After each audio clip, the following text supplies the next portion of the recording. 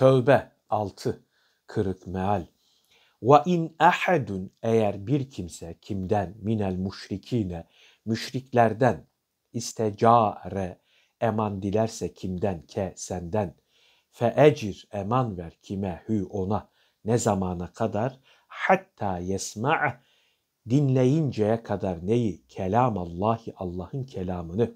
Sümme eblig sonra ulaştır kimi? Hü onu nereye?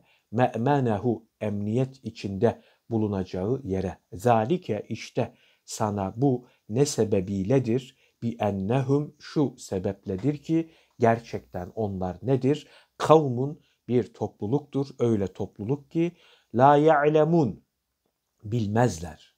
Ve in ahadun minel müşrikîne tecareke fe ecirhu hatta yesma'a kelamallahi. Thumma eblighu me'manahu. Zalike bi ennehum kavmul la ya'lemun. Eğer kendilerine saldırılması emredilen o müşriklerden biri senden öldürülmemesi için korunma ve eman dilerse o kişi Allah'ın kelamını dinleyip iyice anlayıncaya ve işin gerçeğini bilinceye kadar ona eman ver. Sonra Müslüman olmazsa onu güven içinde bulunacağı yerine ve yurduna ulaştır.